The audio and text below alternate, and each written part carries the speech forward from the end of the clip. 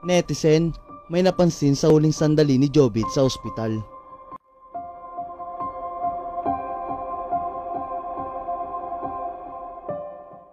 Nabigla ang social media nitong December 9 ang balitang pumanaw na ang Pilipinas Got Talent Season 1 Grand Winner na si Jovit Valdivino. Marami ang nagulat sa pagkawala ng singer lalo na 29 years old pa lamang ito. Ayon sa ilang ulat, nag-collapse raw ang OPM singer habang kumakanta sa isang family party sa Batangas. Kaagad naman daw itong isinugod sa ospital at inoperahan. Ngunit iginiit ng partner ni Jobit na si Camille Ann Miguel na hindi totoong nag-collapse ito sa party. Sa isang panayam, nilinaw ni Camille na totoong nawalan ng malay si Jobit ngunit nangyari umano ito noong nasa ospital na sila. Kasunod nito, ibinahagi naman ng pamilya ni Jobit ang ilang detalye ng kanyang pagpanaw.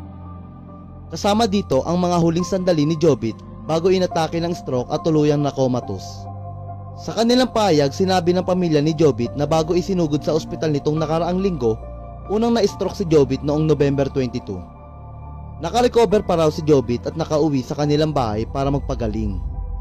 Hanggang isang family friend umano ang nag-imbita kay Jobit na kumanta sa isang Christmas party sa Batangas City. Pinayuhan naman daw si Jobit ng kanyang doktor na magpahinga at wag na munang pumunta at kumanta.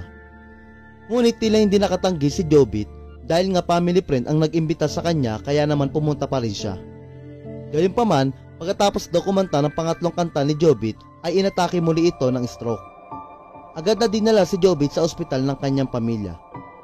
Ayon pa sa ama ni Jobit, nasabi pa raw nito sa kanya ng anak na lalaban ito dahil gusto pa nitong mabuhay.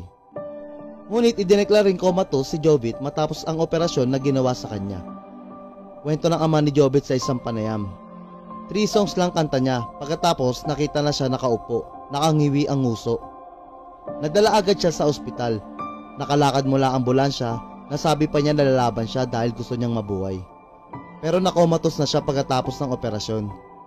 Makalipas nga ang limang araw, mula nang makomatos ay tuluyan ng namaalam si Jobit. Ayon naman kay Camille Ann, alam niyang lumaban si Jobit. Sa mga huling sandali kasi ni Jobit habang kinakausap niya ito, ay nakita pa raw niyang tumulo ang mga luha nito. Bahagi ni Camille Ann, Love, sobrang hirap na naiwan akong mag-isa na di ko alam paano uli magsisimula nang wala ka na sa tabi ko. Alam kong lumaban ka tulad ng pangako mo sa akin. Bago ka maopera, nahintayin kita at lalaban ka, alam kong ginawa mo lahat ng makakaya mo. Para lumaban kasi pag kinakausap kita sa ICU, kahit umiiyak ka, sobrang sakit, sobrang hirap, alam ng lahat at lalong alam mo kung gaano kita kamahal. At lalong alam ko po kung gaano mo ako kamahal. Magpapakasal pa tayo eh, magbe-baby pa tayo, napakadami pa natin plano. Base naman sa payag ng pamilya ni Jobit, lumalabas na aneurysm o pagputok na namagang ugat sa utak ang kanyang ikinamatay. Narito ang kabuuang payag ng pamilya ni Jobit ayon sa dati nitong handler na si Terry Telan. According to Jobit Valdivino parents, Mr. Hilario Larry and Mrs. Cristeta Valdivino, and fiancé Camille Ann Miguel, during our personal visit in the hospital on December 6, 2022, he was recuperating for a week with hypertension maintenance medicines. Then he was invited a family friend from Batangas City. Doctors advised not to sing while recuperating. Knowing Bundoy, he gave into the clamor of the crowd. He sang three signature songs including Faithfully by Journey. He was gasping for breath on the third song.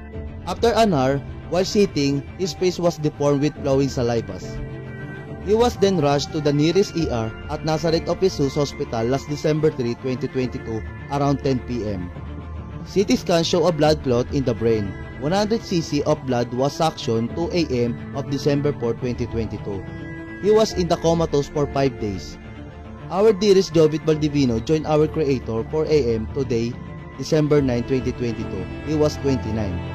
Sa ngayon, nakaburol ang mga labi ni Jovit sa kanilang tahanan sa Rosario, Batangas na itinayo niya para sa kanilang pamilya.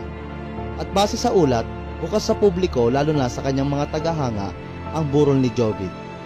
Nakatakda namang ihimlay ngayong darating na December 14 si Jovit Valdivino sa Paradise View Memorial Garden sa Batangas.